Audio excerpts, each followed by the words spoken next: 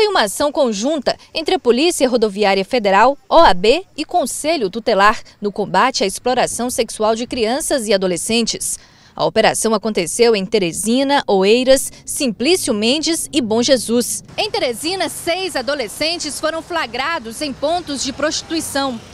Cinco deles são travestis entre 16 e 17 anos, que estavam sendo explorados sexualmente na BR-316, próximo ao bairro Bela Vista. E aqui, em frente ao cemitério São Judas Tadeu, às margens da BR-343 que elas questionam, inclusive nessas abordagens, quando nós estávamos nesse convencimento, era a primeira coisa que falava. E aí, vão dar emprego para a gente, aquela, enfim.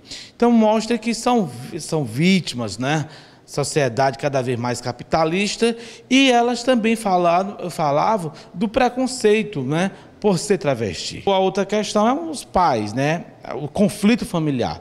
Na, nas, nas, que nós fizemos a, a, o termo de recebimento, fomos deixar em casa e em duas situações, assim, um conflito familiar entre essas adolescentes muito visível, infelizmente. Outra adolescente de 14 anos foi apreendida na zona sul de Teresina.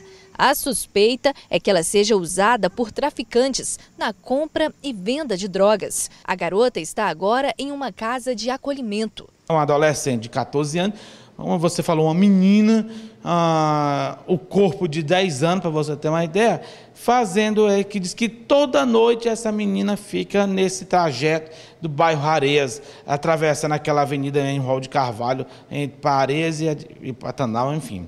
Então, é triste, nós levamos para acolhimento institucional, e aí, para que a família dessa, dessa adolescente possa aprovar, tanto para a Casa de Acolhimento, como para a juíza da Infância Juventude, que tem condição de ter de volta essa adolescente.